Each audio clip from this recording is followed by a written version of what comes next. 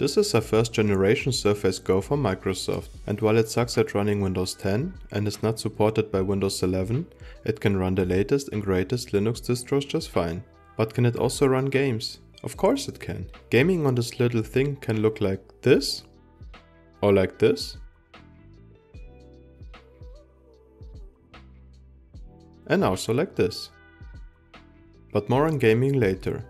Hardware wise, it has a weak, passively cooled dual-core Intel CPU, but at least it has hyper-threading. Additionally to that, it has 8GB of RAM and a 128GB SSD. The 10-inch IPS screen looks really good even by today's standards.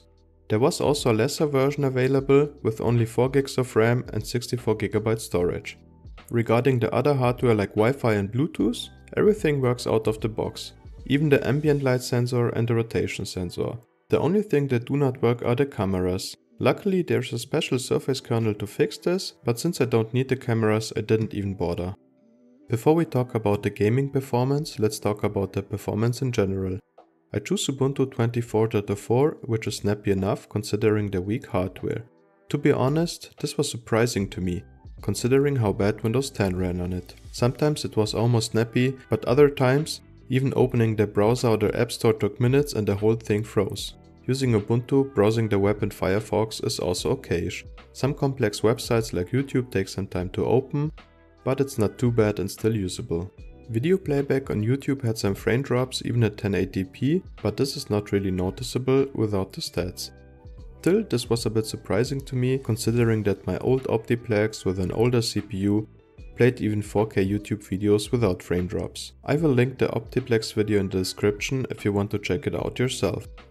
If you're considering buying a Surface Go for yourself, I would strongly recommend the GNOME desktop environment for this device, because it has really good touch support which makes this little machine usable as a tablet on the couch for surfing the web or watching videos. When using it as a tablet device, the screen rotation works fine and can be locked.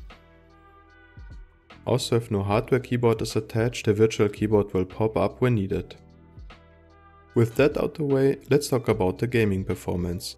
The first game on the list is Bioshock, which was really playable. With 720p and the medium preset, the game ran fine between 40 and 60 FPS most of the time. During the whole opening section, no matter if on the water, under the water in the capsule or in Rapture, the performance was everywhere about the same. Personally, I would lock it to 40 and play it with a consistent frame rate. Next up is the Castle of Illusion. It dipped sometimes under 60 at 720p, but this was not too dramatic and not really noticeable without the frame rate overlay. Lowering the resolution resulted in a locked 60, but the visual downgrade is not worth the trade-off in my opinion. This game is really a good fit for this device, especially on the couch with a controller. To be honest, the Darkness 2 ran worse than expected. At 720p and everything on medium, it dipped constantly under 30 fps. Setting everything to low had no effect on the frame rate. With the willingness to suffer it can be played with a 30 FPS lock, but I would not recommend it on this device. The next game on the list is Half-Life 2, which ran really good as expected. 720p with settings on the higher side ran depending on the scene between 50 and 80 FPS. The only downside was that when the game was loading new sections, the framerate was slower than usual and a bit stuttery, but this was not permanent and the settings could also further be reduced to prevent this a bit. Portal ran also really well on the Surface Go. The settings need to be lower than on Half-Life 2 while maintaining the 720p resolution. But the game still looks good. The framerate hovers between 40 and 60 FPS most of the time. Portal 2 ran with 720p low settings between 50 and 70 FPS. It tends to stutter from time to time but this was not too distracting and I would consider this game more than playable.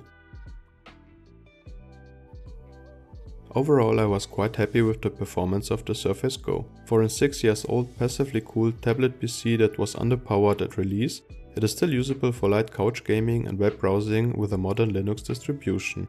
Thanks for watching and if you liked this video, please leave a like and consider subscribing. See you in the next one.